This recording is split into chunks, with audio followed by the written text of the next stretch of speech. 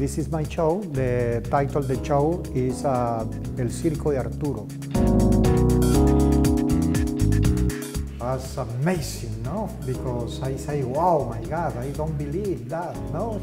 It's like a bird man flying.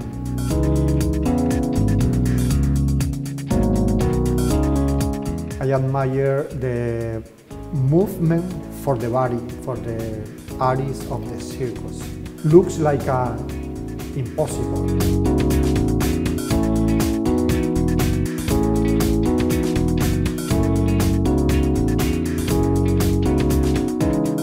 I spend about uh, two months in each piece. I use bronze and drawing. It's a long, long process. It's a hard process, but I love that. My method is uh, I begin to work like a circle, like a oval, like a curve.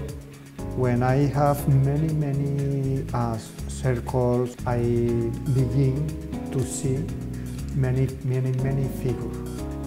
And I select what is the, the best figure the, for a strong expression.